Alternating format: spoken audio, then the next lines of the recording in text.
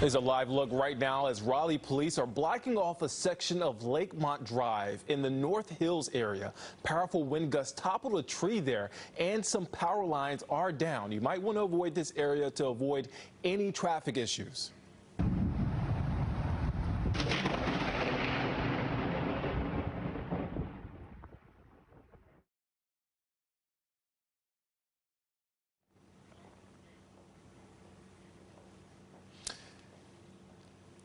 And the wind gusts and rain caused hundreds of power outages just south of Five Points near Cameron Village in Raleigh. At one point, more than 700 homes and businesses were left in the dark.